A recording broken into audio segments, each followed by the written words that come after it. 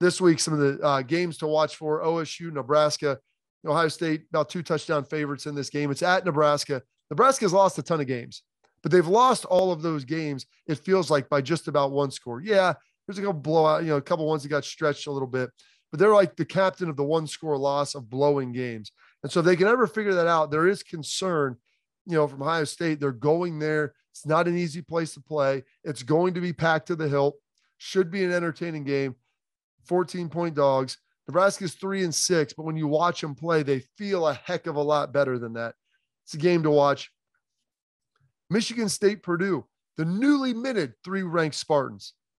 Take a look at that. It's Purdue plus three.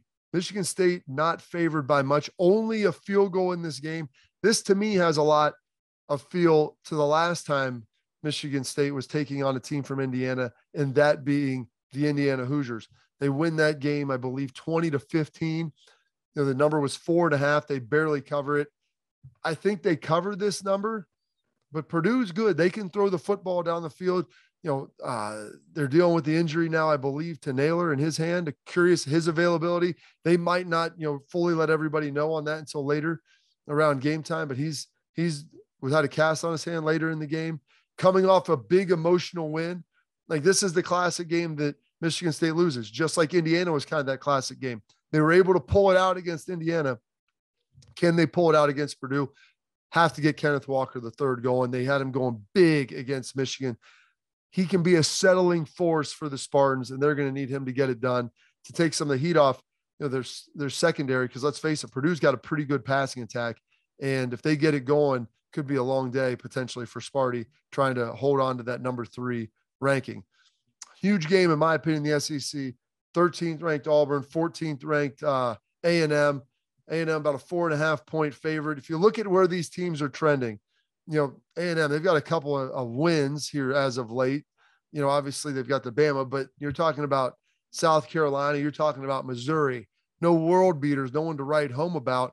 Conversely, you look at Auburn, they beat Arkansas team that you know is not ranked, but was playing pretty good football, and then an Ole Miss team that was playing some good ball. Good Bo Nix, good for Auburn.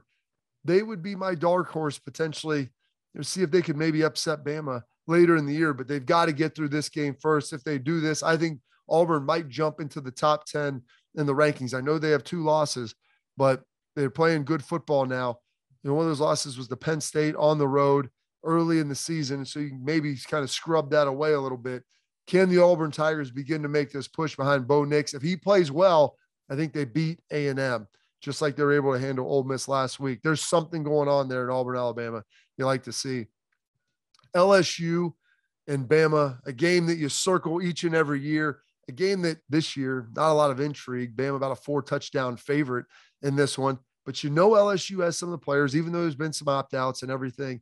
It's a prideful team. You know, for gambling purposes, I would take those points. Four touchdowns is a lot. I think you, have watched this LSU offense be able to score, and Bama, you know, they've shown some inconsistencies at times. They've shown the ability to bust, and they'll be amped up for this game. It's at Alabama. I still think this is probably more of a 21 or 24 point game. Going to come down if Bryce Young operate executes at a high level.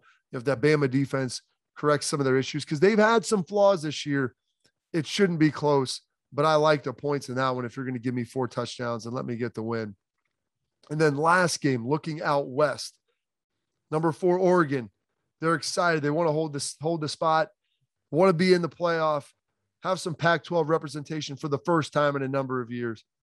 They've got they're going to Washington. Tough place to play. Washington playing better as of late. Beat Arizona. They're not good, but they beat Stanford, a team that beat Oregon recently. Washington getting healthy. This is a different team than the team that lost going into Michigan. They're at home. And you always have to be worried about that letdown. When you get ranked really, really high, is there a concern that next week you're feeling yourself a little bit thinking, we're in the playoff, we'll cruise through this? Because Oregon, they can't afford to even win close. They don't have the strength of schedule at the back end. There's no one else in the Pac 12 South that can give them a bump at the end. They don't really have the ranked teams to play. So it's going to come down to the eye test of how good you just actually think they are. And Ohio State's going to get big bumps at the end of the year should Michigan and Michigan State hold serve, get a bump from most likely a team that is ranked in the West, maybe not ranked high, but a ranked squad. They'll get that bumped. And so if you're Oregon, you've got to go out and dominate. Seven point favorites against Washington. I think this could be a game that Washington could go out there and win. It's been a battle in the past. I'd take the points. I think Oregon pulls it out close, but keep this one circled on upset alert.